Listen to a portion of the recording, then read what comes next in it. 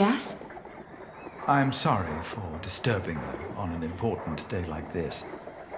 But. Have you by any chance seen Jack since yesterday? Uh, has something happened? He's gone. We've been looking for him all morning.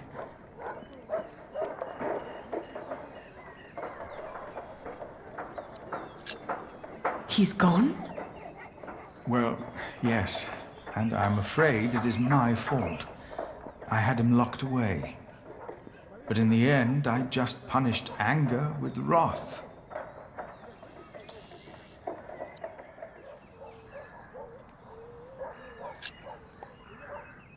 Well, find him then. My monks are already trawling the woods. I myself will go to Shiring, while Martha is taking a horse to a cave he used to know. Please, don't let this spoil the first day of your marriage, when there should be only reason to rejoice. Thank you.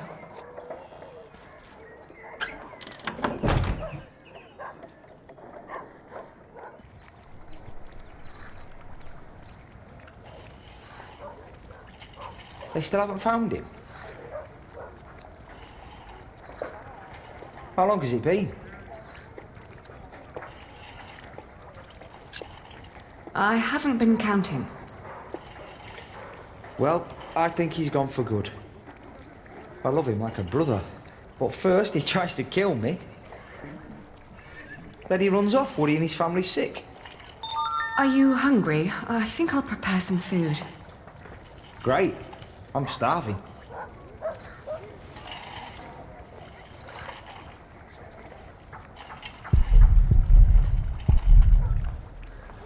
You need any help? You could prepare the meat.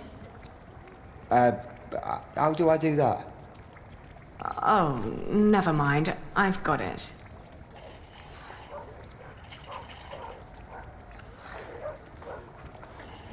What are you cooking? Frumenty. What's going in it? Wheaten ale with milk, spices, venison, and eggs. Well, as long as it tastes good.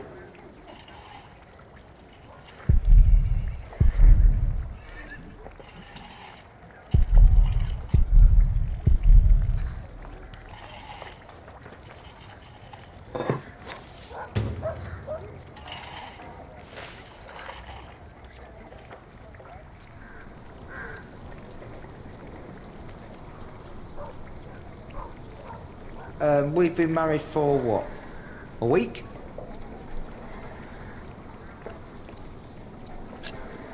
I haven't been counting. Right. Feels like a lifetime already, doesn't it? Yet, we still haven't. You know.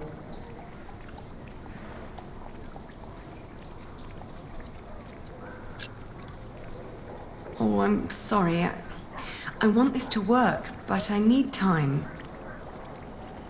It's alright. Sometimes you look at me like you think your husband isn't a good man. But I am a good man. You'll see.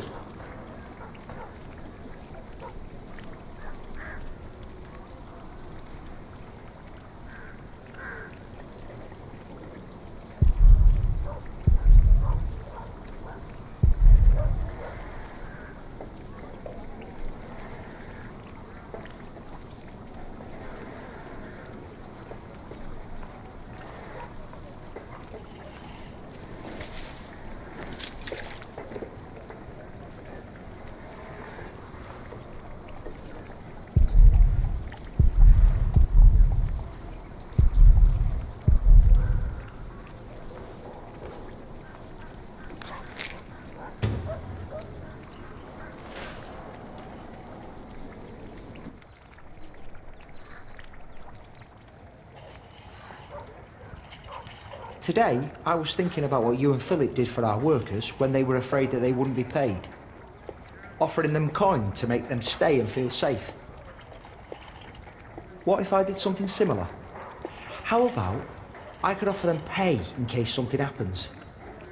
Like an insurance. What do you think?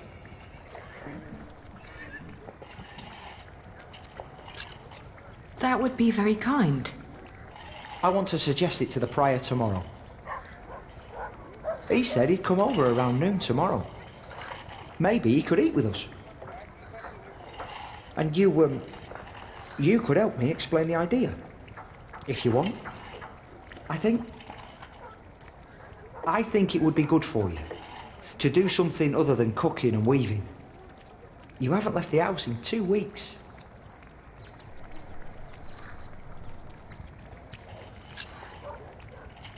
You're right.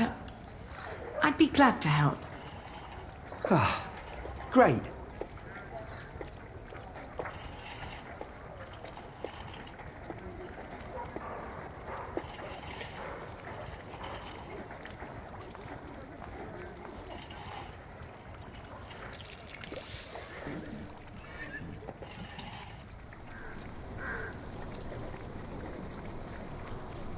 Would you like venison with it?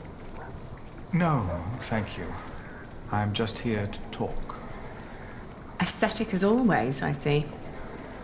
It just turns more and more into a habit, really.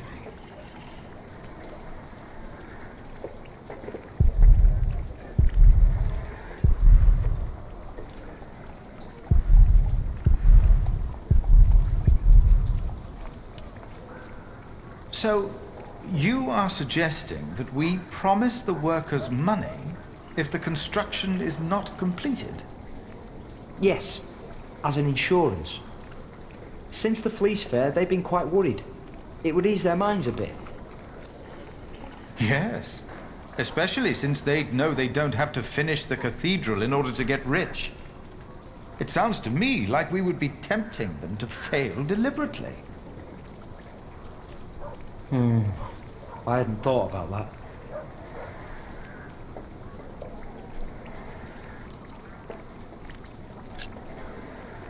Don't be so cynical, Philip. I'm not. It's just. It's just so hard to encourage goodness these days. We tried so hard in the last few years, yet all we reaped is death and misery. The alternative would be to do nothing at all.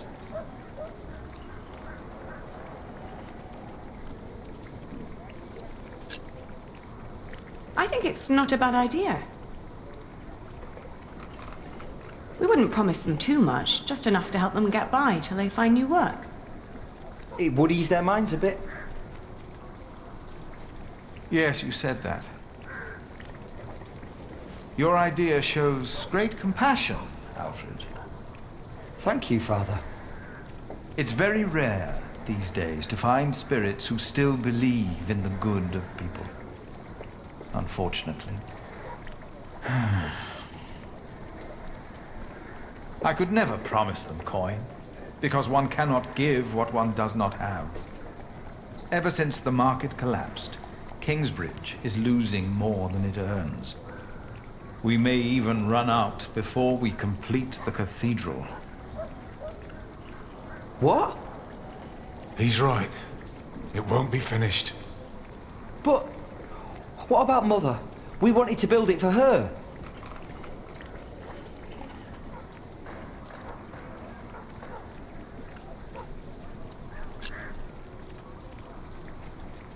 Could you build faster? Finish it before you run out of money? Is that an option? Master Builder? You've been awfully quiet so far. Hmm. It's hard to say. But yes, Alfred could look at the designs.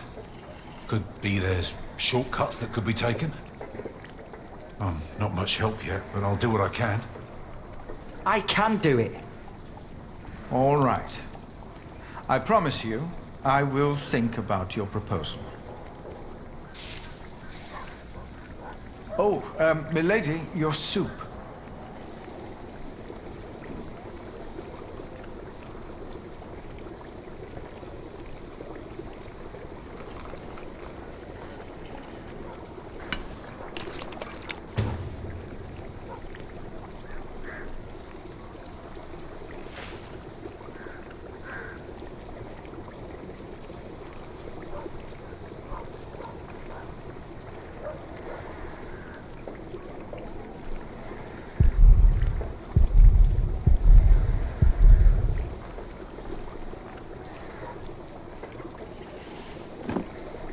Thank you.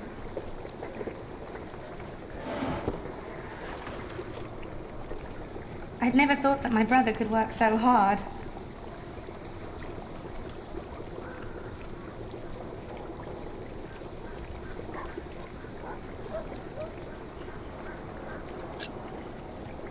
He really cares about Kingsbridge.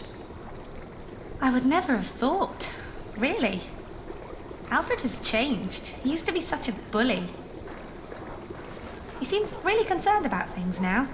About Kingsbridge, about you, about your family. I can't wait for you to give me a little nephew or niece.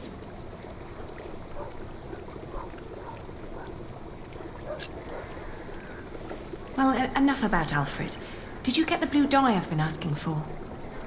Actually, I did. From a woad merchant in Winchester. Took me some time to find him. Oh, thank you so much, Martha. I guess now I finally have to finish my weaving. How's it going?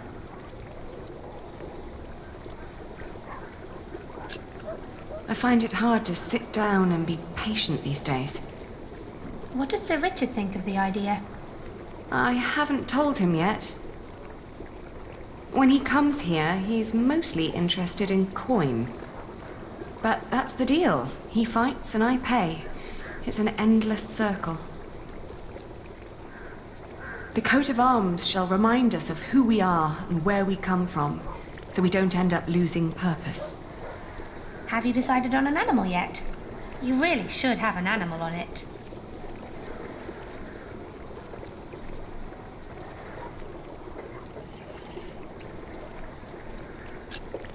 It will sport a lion. Wow, that's a strong animal. I like that. Ali, I'm so sorry that I mentioned wanting a niece. I just thought in the last month that you were, well, growing a bit. Oh, I'm just getting fat. You're not getting fat. You forget that there's not a lot for me to do other than sit around and eat. Then we should take a hike soon. Stretch your legs and get some sunshine. I'd like that. I would like that a lot. But not today.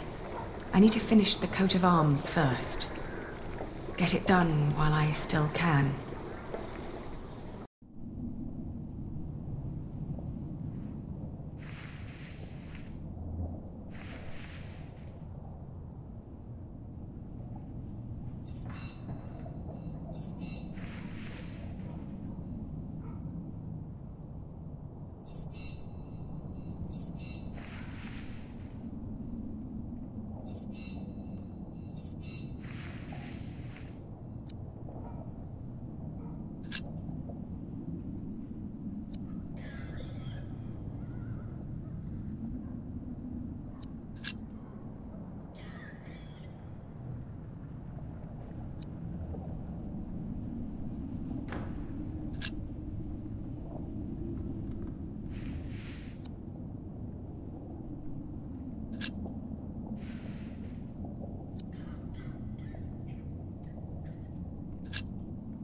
Don't know what to do anymore. I had to marry Alfred to fulfill my oath. I wish that Jack would have understood. Love alone could never stop William Hamleigh. Only money and influence. With Alfred as a husband, I can fulfill my father's last wish. And ever since we've been married, he's been working deep into the nights to finish the cathedral. And when he's home, he expects nothing in return, although I can see so much longing in his eyes. He does whatever he has to do, yet none of it pleases me. Still, I try to be a good wife.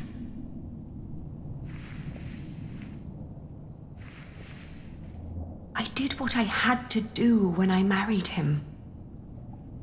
But what I didn't know back then was that I am pregnant with your grandchild. You brought this on yourself. You had the love of your life, but you threw it away.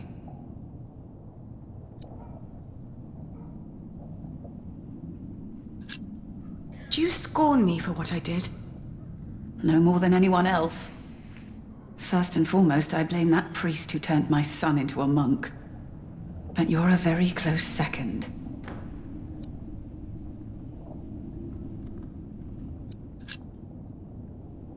What if I brought Jack back? Oh, Aliena. Jack has left England. There's no possible way to find out where he went. I want you to know one thing. Jack loved you. For me, that makes you still family.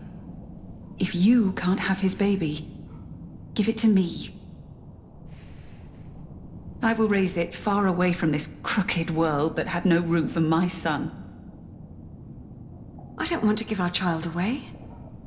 Then you cannot stay here. You cannot go on like this. But I have to. Don't you understand?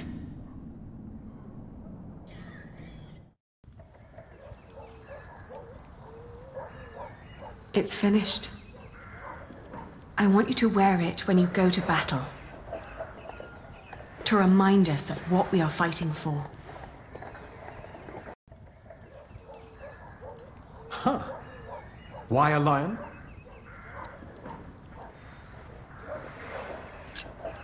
Because it's a noble and proud animal. It symbolizes what we should ceaselessly strive to be. You hear that, Alfred? I'm a lion. Rawr. Grow up, Richard. This is important. Sorry. How's the war going, by the way?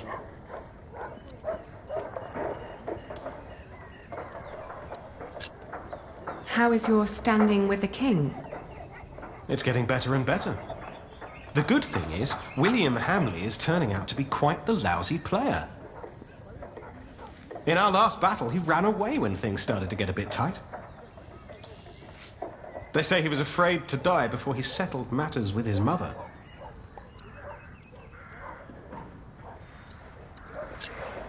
His mother? No one's seen her in years, not since her husband died. But rumor has it she's still alive and joyfully pulling his strings. Mention her to William, and he goes as pale as a sheep. Ali, we are so close, but we need to be careful. We mustn't let our guard down. Is there anything you need from me, Richard? Well, a new saddle would be nice. I'll see to it. And a horse to put it on, of course. The last one caught quite a few arrows. Right. I'll be out for a while. I've got some business at the market with Martha. All right.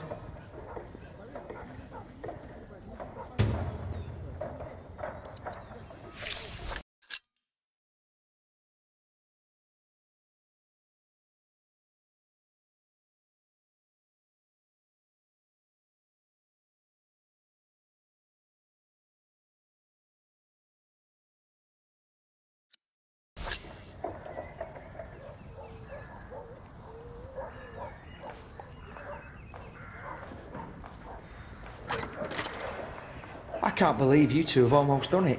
You've almost won your father's earldom back. Oh, don't say that until it's actually happened. I'll see you later in the evening. Ah, there you are.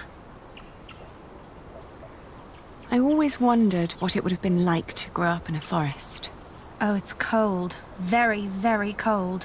When I was young, I spent a night in Ellen's cave.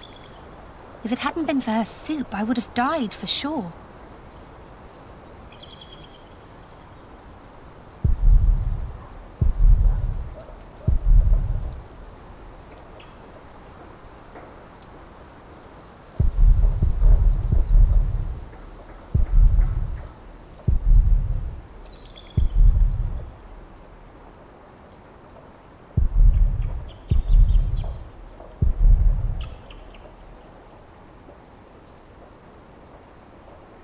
What kind of soup? I think it had deer in it. Deer? Yes. Jack had caught it before we met him. I think it was the only one he ever caught. But hunting deer is. I know. It's punishable by death. Jack never was one for rules and laws. right. He was always busy with something, just not with what Tom asked him to do. Jack? Yes. Yes, he was. You will be an aunt soon. What? But don't tell Alfred. I haven't told him yet. You still think marrying him was a mistake? I do. I do too. But you did it for very good reasons. So, maybe it wasn't a mistake after all. Maybe it will work. Not in a loving way, but more like a partnership. You two seeing eye to eye to each other. Mm, maybe. Uh, but the baby is not. What was that?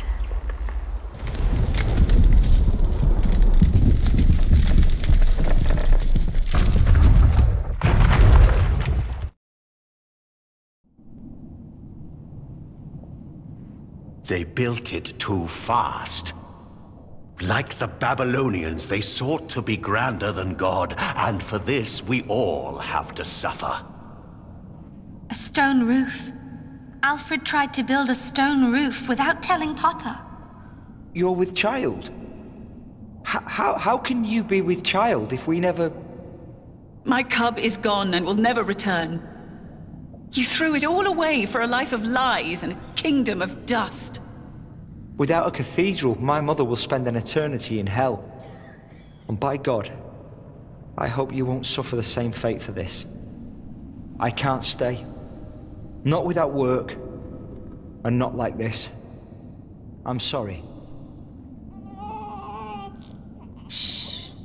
Shh. There's no need to cry. Hmm? Hmm, hmm, hmm. There,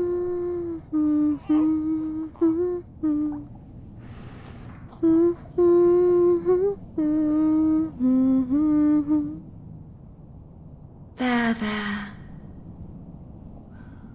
We've been crying for far too long now. Ah. Where do we go from here?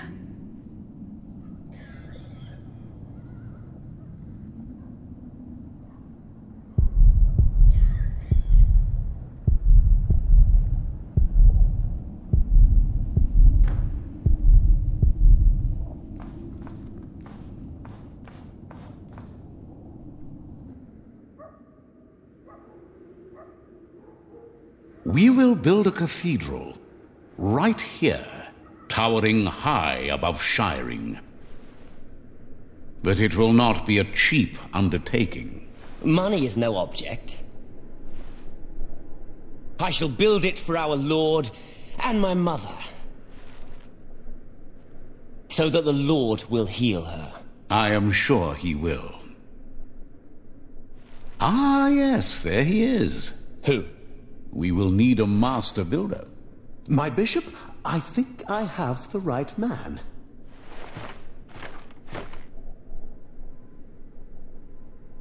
My bishop, my name is Alfred Builder.